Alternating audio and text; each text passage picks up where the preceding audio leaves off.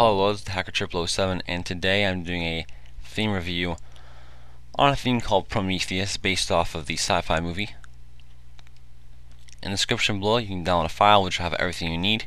Um, things you'll have to have or requirements for your computer are you must be patched with third-party themes. So to do that you can just follow the description below. I'll have a link to a video which you can do that. Second, you must have Theme Resource Changer installed. So just go to the folder and open up x64 or x86 depending on your system. So just go to uh, Start menu, go to right click on Computer, go to Properties. And I have 64-bit, so I will obviously open up the x64. If it says 32-bit, then you open up um, x86. So open up whatever one is yours, install it. It should take a couple seconds, and you're all done. Next, we have to uh, install the theme. So it comes with two different folders. The Prometheus Extras folder, which comes with extras like icons, um, a WinRAR theme, which I will show you guys later, a splash screen, a system time, which I actually did that for you guys.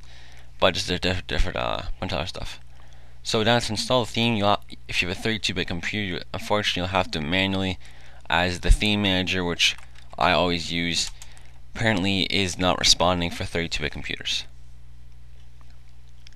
So if you have a 32-bit computer, just drag and drop the folder into your desk into your uh, folder. If not, go to install a theme. Give it a name.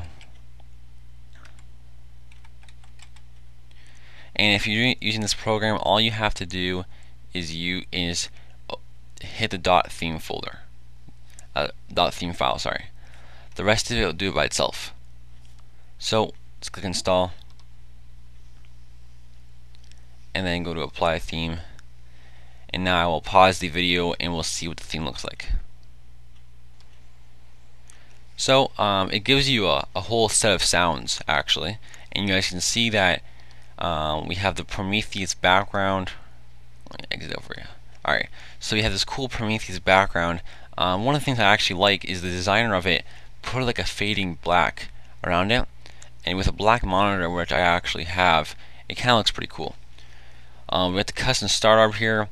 The menu is somewhat transparent. Here we go. So you can just go through system files. It's a pretty slick theme. I like it. Uh, it's a blue and blue and blackish type theme. Um, so it's pretty cool. Um, some of the features you'll have to restart your computer for them to take effect. But now we'll go through some of the extras. So in the extras folder, I will be showing you guys the Prometheus WinRAR theme. So to install it, all you gotta do is click on it. It's gonna ask you, do you wish to install it? Click yes. And now you go to your options, themes to select it.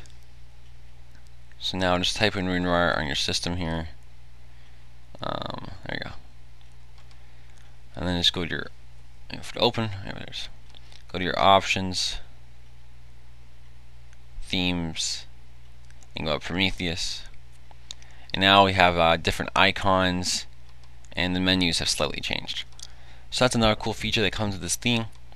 This is a pretty cool theme guys. Uh, one of the things I unfortunately can't show you or make you hear is the sounds.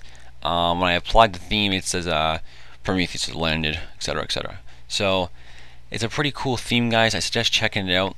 Last thing I'll show you is the uh, couple backgrounds it comes with. So we'll go back.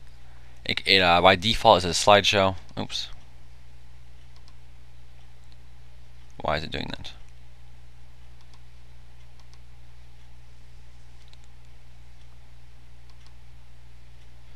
Alright, well I guess this is what I want to show you today. But um, here I'll show you the other way. So the couple backgrounds that it comes with is here we go. So we have uh, the one that I currently have right now is this one right here.